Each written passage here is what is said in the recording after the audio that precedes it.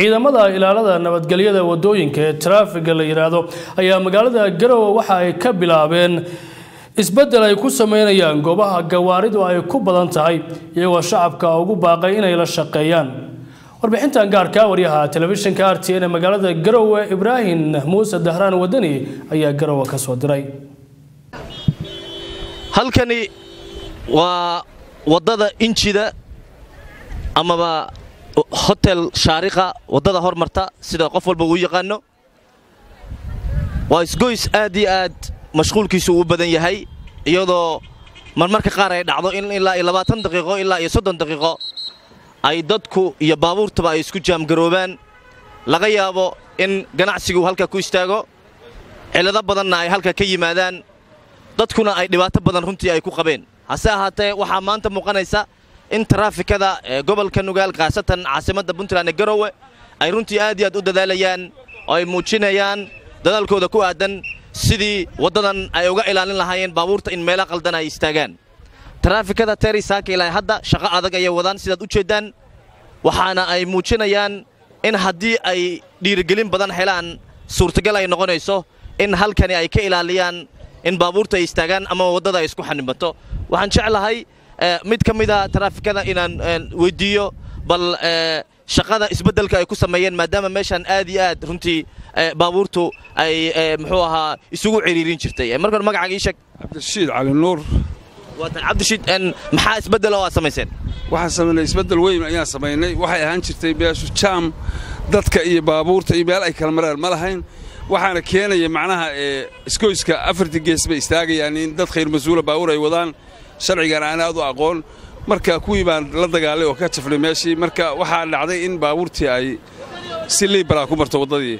Iyadoo ay baabuur waaweyn oo xamuul oo ilaa baabuurta transboortkana ay marto ayaa waxaa baabuurtii qaarna waddada geeska laamiga qarkiisa la dhigayaa qaarna iskooyska bartankiisa istaagayaan oo waxay sugayaan hal qof bay sugayaan. Markaasay waxay isku xirmaysaa ilaa kontaroolka ilaa meeshaa isku xirmaysaa dadka qaarkii oo halkan ku sugan qaarkoodna ganacsato ah ayaa waxa ay aad iyo aad u booriyeen dadaalka dheeriga ah oo ay taraafikadu wadaan. Hase haatee waxay kaloo ay sii raaciyeen in loo baahan yahay taraafikadu inay joogteeyaan shaqadan ay wadaan oo aysan xilliyada qaar bixin.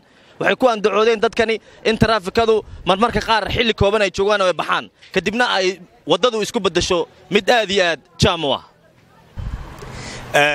Waddada tan deris baanu nahay. Waddada aad ba u dhib badan tahay. Waddada tan waddooyinka xamuulka in laga duwo oo ka imanaya kuwa xoolaha wada iyo kuwa ka imanaya dekadda boosaaso oo ka imanayo sida xamuulka sida in waddadaa la kala bastro oo waddadaas ama xagga loo jebiyo waddo halkaa la dhigo meel kantaroolah oo wixii baabuuro waaweyn ay maraan.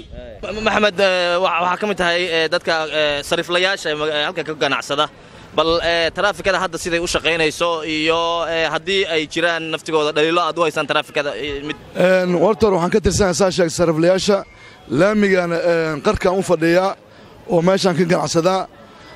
Dhaliisha ay leeyihiin taraafikada waxaa weeyaan laakiin dhaliisha dad ku hormarin haddadan waxaan u jeednaa waddadu waa nadiif si fiican u shaqeeyaan bal waxay horta qabanayaan bal dhaliisha intaadan gelin. Marka hore taraafikada way shaqaysaa laakiin shaqada ay wadaan way yar tahay. Shaqadii loogu talagalay inay qabtaan ma ku filla waddada kuma filla. Shaqada meesha wakhti ugu daran waxaa weeyaan wakhtiga rawaxaadda oo dadka shaqada ay ka soo baxaan ayay ugu darantaha waddada horta xiritaankeeda midda kale waxaan micnihii ciladaynaynaa darawaliinta ma sharciyaysna darawaliinta ma sharciyaysna ma yaqaanaan waddada ay marayaan? Ma yaqaanaan. Taasna cillad ayaan u sheegaynaa aad iyo aad baan saakay. Waxaan u aragnaa waddo aad u qiimo badan oo shaqaynayso taraafikadu sababta waxa wakhtiyadii horeeto waxaa nugu dhici jirtay inaannu saacado amaannu saac taagnaanno laakiin saaka waxaa noo muuqata shaqo wanaagsan oo taraafikadu qabanayso. Saxaafadduna ay aad ula shaqaynayso dalkana ay aad uga shaqaynayso. Waxaase kale ku sii dhiirigelin lahaa in balaan loo sameeyo oo baabuurta baabuurta waaweynna waddo loo sameeyo baabuurta yaryarna waddooyinka loo kala sameeyo. Sababta waxa weeye dadkii waa isku dhibtoonay baakinkii wuu yaryahay waxaa kaleetoo jirta meel aan la istaagi karin ayaa baabuurtu istaagaysa. Hadday taraafikadu shaqayso oo baakin leedahay oo baabuurku markuu soo istaago la dhahayo adeer meeshaan lama istaagi karo. Waxa weye waddadu way muxuu fiicnaanaysaa.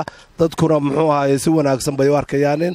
Jirta dadka qaar ay leeyihiin oo aan waraysannay intaad joogtaan meesha waa wanaagsan tahay laakiin inaad baxdaan inta badan. Maxaa bixitaan keenaymaa qayb reebtaan waxaa keenaya ciidanka oon lagu yar awgii marka marka gelinka hore haddaan ka shaqayno waa sax way dhacdaa. Sida dadkuu sheegayo waa run weeye.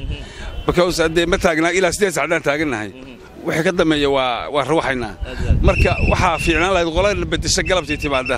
In taliska lagala xidhiidho taraafikada ay maaragta ay arrintaas ka xilsaaraan si kastaba ha ahaatee haddii dadaalkani uu sii socdo. Waxaa meesha ka baxaya dhibaatooyinka badan ee waddadan injida lagu qabo oo ay runtii dad badan aaminsan yihiin hadday taraafikadu sidan u sii dadaalaan dhiirigelinna ay helaan in waddadan ay noqonayso wadda nadiif ah oo aysan dadku ku dhibaatoon ibraahim muuse dahraan waddani r t n t v garowe